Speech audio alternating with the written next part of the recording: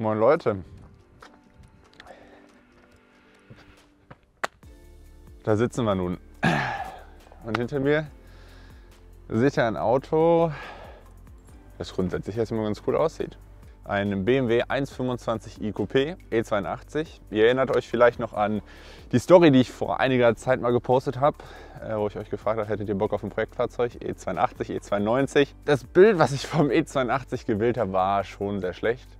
Äh, dementsprechend wart ihr eher für den E92. Aber mein Herz schlägt seit eh und je für ja, Sonnenkollegen hier. Klassischer BMW, kurzes Heck, lange Motorhaube, 6 Zylinder.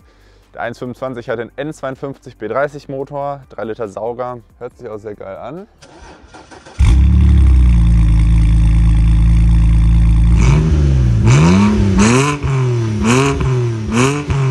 Und dieser Wagen war eigentlich als Projektfahrzeug für diesen Kanal geplant. Die Idee war es, das Ganze richtig schön mit Tamtam, -Tam, geiler Carporn, richtig, richtig nice in Szene gesetzt, den Wagen. Einfach als Überraschung für euch, für den Support, wie inzwischen jetzt fast zwei Jahre. Ja, ich hatte einfach Bock, euch zu überraschen, Dankeschön zu machen mit einem richtig geilen Projektfahrzeug und habe mir den Wagen quasi für euch geholt. Aber warum ist es jetzt kein Carporn, sondern warum ist es so ein Statement-Video? Dazu kurzer Abriss.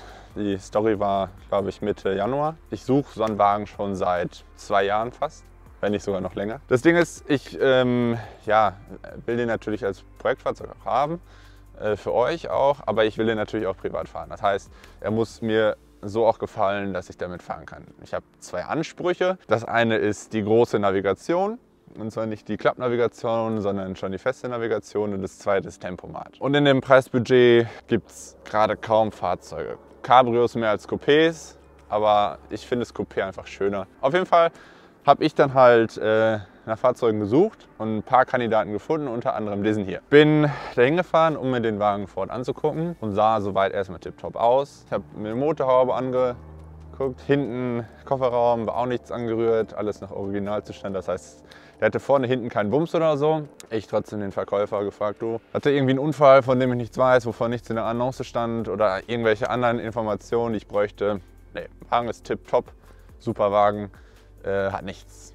Dann habe ich Bordbuch, Checkheft geguckt, äh, war auch Checkheft gepflichtet und so weiter, aber die ersten ähm, ja, Einträge waren aus Holland. Niederlande. So kommt der Wagen aus den Niederlanden, EU-Import? Nee, nee, Deutsch wüsste ich nicht, also müsste Deutsch sein. Oder ist auch Deutsch, sagt er.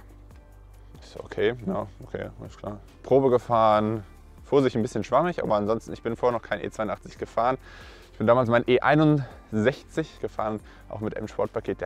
Also der war richtig äh, straffes, straffe Lenkung. Ja, auf jeden Fall, äh, ja, guter Eindruck und so weiter. Dann habe ich den Wagen halt genommen. Ich stand hier erstmal rum, Vorbereitung, mit Gio gesprochen, du, ne, Carporn brauchen wir, irgendwie Wagen in Szene setzen wir machen was am besten. Und deswegen stand er jetzt hier die ganze Zeit halt einfach nur auf dem Parkplatz. Und äh, ja, ich hatte einen Termin in, in Berlin letzt, Ende letzter Woche und äh, schrieb vorher nochmal dem Vorbesitzer auf, auf äh, Facebook, den ich ja über einen Fahrzeugbrief rausfinden konnte. Du, warum hast du den Wagen eigentlich abgegeben? Ist ja eigentlich ein mega schicker Wagen. Hatte eben auch, oder ich wollte eben nochmal der steht ein bisschen tiefer, hat ein ST-Fahrwerk drin und ich wollte halt äh, wissen, ob der da noch die Rechnung von hat oder ob er wusste, ob, wenn er das nicht eingebaut hätte, ob das irgendwie ein Vorbesitzer davon eingebaut hätte. Und äh, was dann kam, stellte eigentlich alles auf den Kopf. Ich bin gerade am Zittern, aber das liegt mehr daran, weil es hier gerade sehr, sehr kalt ist. Aber als ich die Nachricht bekommen habe, war ich nicht am Zittern, weil es kalt war, sondern weil es mir tatsächlich auch einfach kalten Rücken runterlief. Er sagte, ja, also wirklich freiwillig habe ich den Wagen nicht abgegeben, aber ich hatte einen Unfall. Ich so, ja, lass mal am besten mal später telefonieren. Ja, und dann irgendwann rief er mich am Nachmittag an, hat mir erzählt, was mit dem Wagen passiert ist. Was mir der Verkäufer nicht erzählt hat. Das war ein leichtes Déjà-vu, weil ich genau den gleichen Unfall auch hatte. Einen mitgenommen, dreht, Achsen hinüber. Er hat mir das Gutachten geschickt. Jetzt gehe ich da eben mal rein, um äh, das vorzulesen. Also der Verkäufer hat es wie gesagt als unfallfrei verkauft. Räder beschädigt. Vorderachshälfte außerhalb der Herstellervorgaben. Lenkung beschädigt. Austausch erforderlich. Vorderachsträger angeschlagen. Hinterachshälften, Hinterachsträger verbogen. Schweller verbogen. Ausgewechselt werden müssen Stoßdämpfer. Die sind immer noch drin. Querlenker, Schwenklager, Lenkgetriebe, Spurstange, Hinterachsträger, Vorderachsträger. Ich natürlich direkt den Verkäufer angerufen. Ey, der Wagen ist nicht unfallfrei. Doch, er hat nichts. Super, der Wagen. Nee, ich habe hier Gutachten vorliegen. Der Wagen ist nicht nur ein Unfallwagen, der Wagen ist ein Totalschaden. Ja, nee, hey, super, ich bin gefahren, alles gut. So, nee, der ist, ist nicht alles gut, der Wagen ist kaputt. Hast du irgendwie, weißt du davon was? Hast du irgendwie eine, eine Rechnung von der Reparatur, was gemacht wurde? Nee, ich weiß ja nichts von. Ist okay. Komisch. Ich habe ihn am nächsten Tag nochmal angerufen. Ich hatte erst überlegt, du machst jetzt ein Gutachten von dem, von dem Fahrzeug, um herauszufinden, ob alles repariert wurde. Aber wenn ich das jetzt gemacht hätte, hätte ich es bezahlt. Ich hätte das Geld nie wieder gesehen wahrscheinlich. Wir wollen dann am, am Montag nochmal sprechen. Ich habe ihn am Montag angerufen. Ich so, wie sieht's aus? Ja, der Wagen hat, äh, ja, wie gesagt, den Unfall. Wusstest du davor was von? Nee, weiß ich nichts von. Ich habe mich natürlich das Wochenende schlau gemacht und es gibt so ein paar Dinge beim Gebrauchtwagenkauf. Das eine ist äh, die sogenannte Sachmängelhaftung, Gewährleistung. Und dann gibt es auch noch Täuschung. Die Sache ist, ich bin zwar Privatperson, gekauft habe ich den Wagen aber jetzt nicht privat, sondern eben auch gewerblich.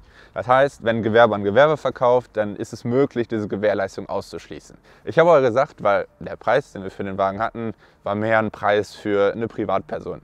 Und ich habe gesagt, ich unterschreibe den Kaufvertrag wirklich nur, wenn diese Sachmängelhaftung drin ist. Also wenn die Gewährleistung nicht ausgeschlossen wird. Das heißt, wir haben die Gewährleistungs- oder den Gewährleistungsausschluss haben wir gestrichen, sodass Gewährleistung besteht. Heißt im konkreten Fall, wenn ein erheblicher Mangel an diesem Wagen besteht, in Höhe von mindestens 5% des Kaufpreises, muss der Verkäufer diesen Mangel beheben. In der ersten Hälfte, ich meine, das ist ein Jahr lang, das heißt in den ersten sechs Monaten, muss der Verkäufer beweisen, dass der Wagen, als er verkauft wurde, heile war. In der zweiten Hälfte, also in den zweiten sechs Monaten, müsste ich als Käufer beweisen, dass der Wagen, als ich den gekauft habe, kaputt war und nicht so quasi beschaffen war, wie es im Kaufvertrag drin steht. Beispielsweise, wenn äh, der hat jetzt auf, auf der Fahrerseite fehlt dem Spiegel, ein Spiegelglas, aber das ist unerheblich, hat er gesagt, schickt er, hat er nicht geschickt. Oder wenn beispielsweise, weiß ich nicht, Motorhaube nicht zugehen würde, irgendwas wäre, äh, was ausgetauscht werden müsste, was halt ein Sachmangel ist.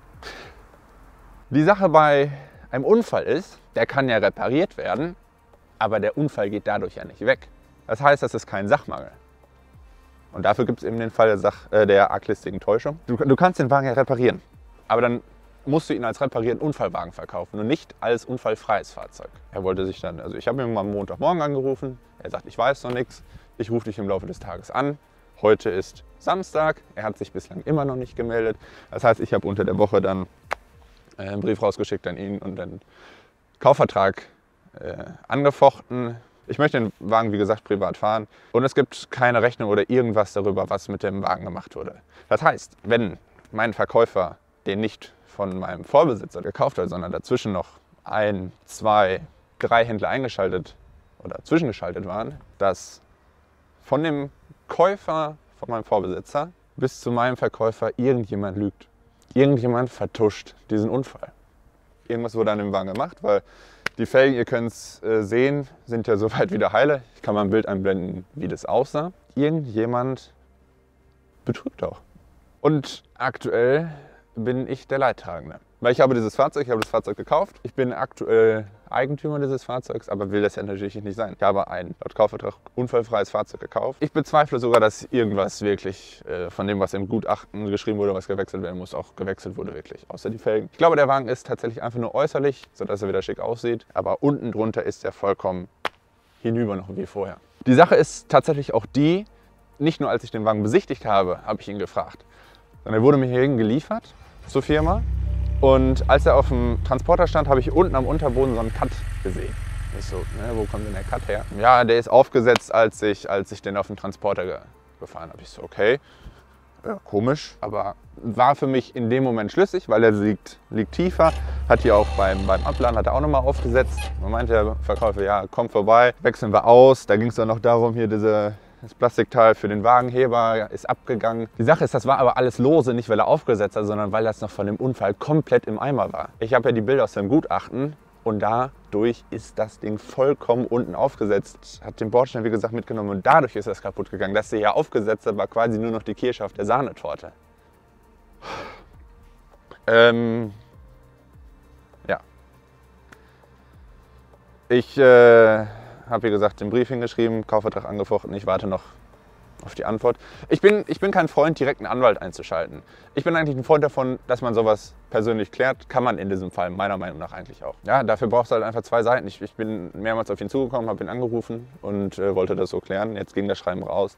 Jetzt hat er, wie gesagt, zwei Wochen Zeit. Und bis dahin muss er den Wagen eben wieder zurücknehmen, das Geld zurückzahlen, weil ich will ja mit euch auch ein Projekt machen. Ich will ja ein Projektfahrzeug mit euch umbauen. Ich habe Bock, Sachen äh, wie, In wie Innenraumpflege, Sachen wie ähm, beispielsweise Infotainment auf den neuesten Stand bringen. Wie kann man aus einem Fahrzeug von 2012 das jetzt in so einen 2022er Zustand bringen? So CarPlay oder Android Auto. Natürlich kann man auch am Fahrwerk was ändern, motortechnisch was ändern, aber wenn das Fahrzeug nicht sicher ist, sicher ist und es kann mir niemand bestätigen, dass der Wagen sicher ist, da habe ich keinen Bock drauf. Da habe ich keinen Bock drauf.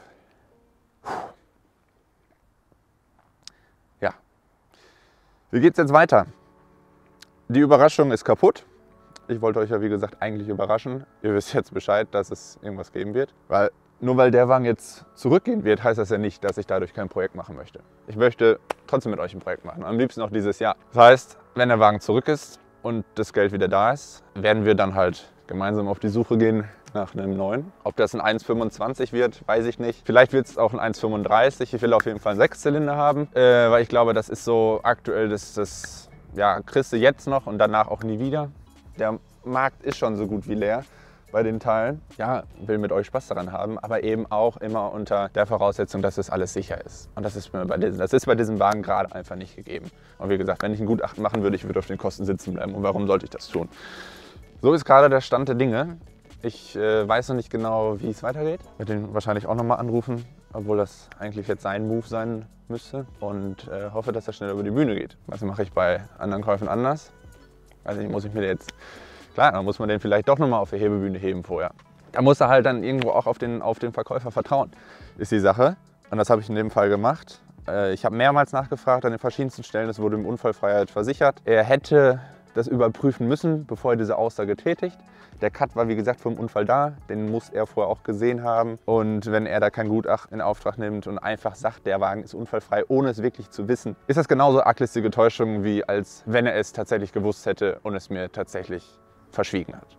Beides ist Fall von arglistiger Täuschung. Wie auch immer es jetzt konkret war, ist mir egal. Der Wagen kommt zurück. Es tut mir an der Stelle leid, dass sich das ganze Projektding jetzt etwas verzögern wird. Aber dafür gehen wir dann jetzt gemeinsam auf die Suche und auf die Reise und schauen nach einem neuen Projektfahrzeug, wenn das hier abgeschlossen ist. Wie heißt es so schön? Am Ende wird alles gut. Wenn es noch nicht gut ist, sind wir noch nicht am Ende. Das wird, denke ich, und hoffentlich auch hier der Fall sein. Das ist alles, was ich an dieser Stelle sagen kann. Ja, bedanke mich an dieser Stelle fürs Zusehen und äh, hoffe, dass euch sowas nicht widerfährt. Schreibt mal gerne in die Kommentare, worauf ihr mehr Bock hättet. 1,25, 1,35, Coupé oder Cabrio. Dann machen wir uns gemeinsam auf die Suche. Wie gesagt, danke fürs Zusehen. Gebt dem Video gerne einen Daumen nach oben. Ich denke, da sind bestimmt auch noch andere Leute draußen, denen es ähnlich ergeht. Hoffentlich sehen wir uns im nächsten Video dann wieder etwas besser gelaunt. Abonniert gerne den Kanal, wenn ihr wissen wollt, wie es weitergeht und was es dann im Endeffekt irgendwann mal für einen Wagen gibt oder was es für einen Wagen wird. Und ich würde sagen, reicht jetzt auch. Wir sehen uns im nächsten Video wieder. Macht's gut. Ciao.